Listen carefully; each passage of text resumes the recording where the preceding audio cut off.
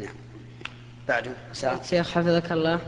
أنني أسمع حديث يقول لعن الشارب قبل الطالب وهذا في منطقتنا أي منطقة الدوادمي فقط. ما صحة هذا الحديث؟ هذا حديث كذب. لعن الله الشارب قبل الطالب هذا لا صحة له. لكنه ليس من الأدب. إذا طلب آه، الإنسان ماء أن يتقدم أحد عليه. بل يعطى الطالب ثم الطالب يعطي الذي عن يمينه.